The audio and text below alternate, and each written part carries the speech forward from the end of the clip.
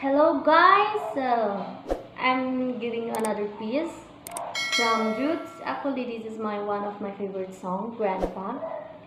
So I hope you like it.